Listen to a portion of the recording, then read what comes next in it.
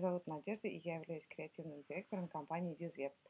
Сегодня я расскажу вам об, об устройстве Gloss, который у меня вот находится в руках. Это устройство – это Wi-Fi радар, который собирает MAC-адреса, уникальные идентификаторы мобильных телефонов всех людей, находящихся поблизости от устройства. Устройство должно находиться в местах скопления ваших потенциальных клиентов.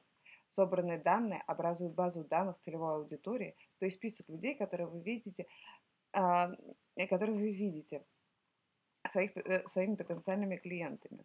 И именно этим людям мы начнем показывать вашу рекламу в интернете, и именно этих людей мы приводим к вам.